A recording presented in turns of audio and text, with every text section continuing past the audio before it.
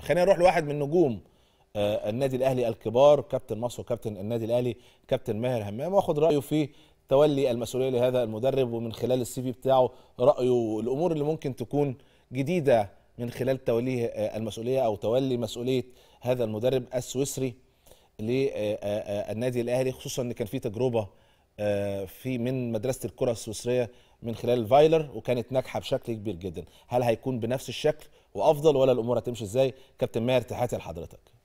أهلا فاروق أهلا بيك. أهلا بيك كابتن. دايما بالسادة دايما. بنستمتع بحضرتك. كابتن إن شاء الله.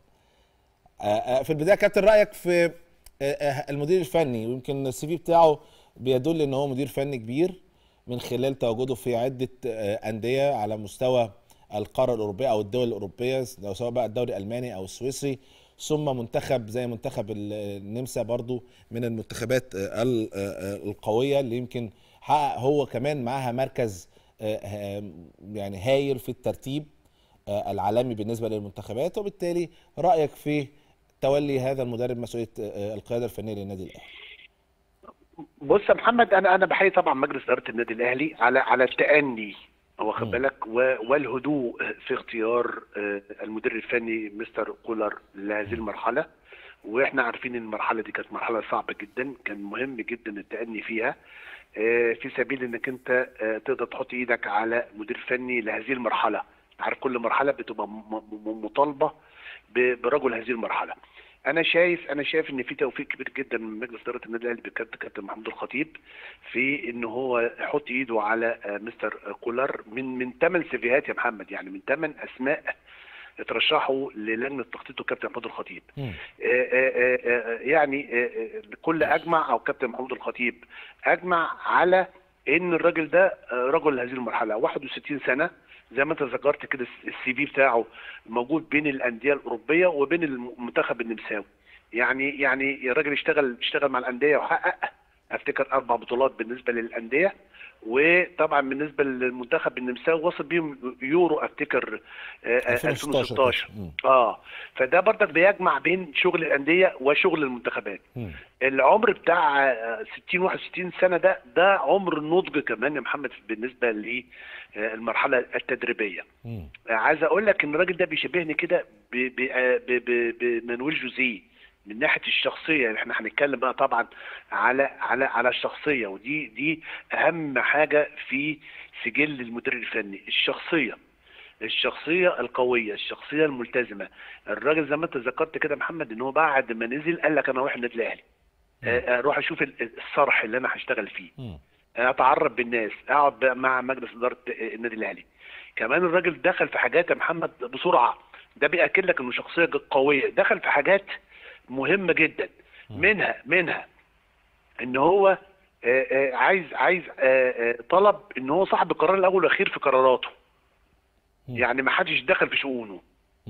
الحاجة الثانية إن الراجل هيبقى صاحب القرار الأول والأخير في اختياراته. بالنسبة للعيبة المحلية واللعيبة المحترفين اللي من خارج وأنا عشان كده بقول لك إن إحنا الت- التأني والتريث ده يفرق معانا في الجزئية دي بالذات لأن هم دول اللي هيشتغلوا معاه سلاحه زي ما انت قلت اللي هيحققوا له. الهدف اللي جاي عشانه وهي. حصد جميع البطولات صحيح وتحسين النتائج والأداء. برضك من ضمن الحاجات يا محمد طلب التقارير التقارير الفنية لم- لمستر موسيماني في السنة والست أشهر اللي كان فيها إيه اللي. تم فيها. واخد بالك طلب التقارير الفنية لمستر ريكاردو وإيه اللي تم فيها؟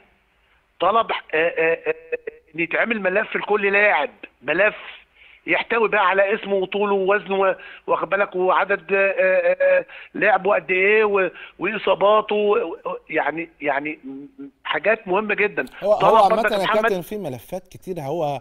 هيصطدم بيها على أرض الواقع منها اللاعبين مثلا المصابين. اللاعبين ممكن بقى لهم فترة اللاعبين الناشئين اللي ممكن يكونوا ظهروا في الفترة اللي فاتت. أيضا الاعراض حاجات كتير جدا أعتقد. في الفترة دي ملفات هو يعني هيشوفها أكيد ويبتدي يتعامل معاها على أرض الواقع يعني. عارف يا محمد عشان كل الملفات دي هيخش بيها في نفسه. ليه بقى؟ عشان توصلنا لاستراتيجيه الأداء داخل الملعب. تمام. يعني طريقة اللعب. يعني من ضمن الحاجات إن هو مثلا دي مهمة بيفضل طريقة صحيح. أربعة اتنين تلاتة واحد مم. اللي كانت بتناسبنا في فترة موسيماني. وهو عنده دراية ب- بطرق اللعب أربعة اتنين وأربعة تلاتة تلاتة وتلاتة أربعة تا- تا- يعني كل الطرق اللي أنت ممكن تتخيلها هو حاطط إيده عليها بشكل كبير جدا. شخصيته كمان في حتة العامل النفسي يا محمد مهم جدا. يعني هو برضك من المدربين الناجحين جدا جدا في التعامل مع اللعيبة في الجانب النفسي. يعني آه، آه، آه، بيعامل اللعيبة كلها مية واحدة في الثواب والعقاب. يعني مثلا اللعيبة النهارده اجادت كل الناس بيشيد بيها. اللعيبة أخطأت بي بي يقول لك إن اللعيبة كلها أخطأت. آه، آه، شخصيته قوية وتعامله مع اللعيب آه، داخل الملعب وخارج الملعب. انضباطه لأوضة اللبس. بردك مهمة جدا انضباطه للملعب من ناحية التدريب مم. من ناحية الإدارة تسمح لي يا الفنيه كابتن أقطع مع حضرتك في نقطة وإحنا بنتكلم يعني بما إن إحنا بنتكلم عن النادي الأهلي إن آه، آه، النتائج الخاصة بيه مع الأندية اللي هو حققها سواء بقى مع بوخم حتى وإنه يحصل مع بوخم على دوري الدرجة الثانية الألماني وبيوصل معاه إن هو بشكل كويس في البوندزليجا بيمشي معاه بشكل كويس ثم كمان المنتخب النمساوي وحصوله ببطولة الدوري مع بازل أو كأس كأس آه، سويسرا مع بازل دي برضو بتخليك إن هو ممكن يكون بياخد فريق اهتز شوية.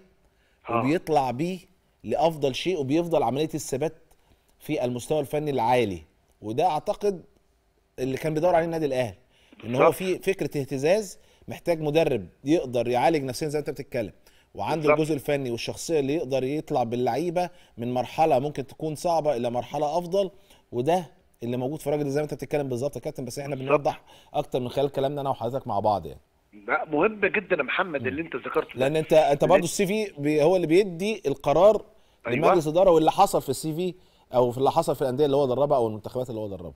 بالظبط. آه. والمرونة دي مهمة جدا في التعامل مع اللعيب. يعني في فرق بين اللعيب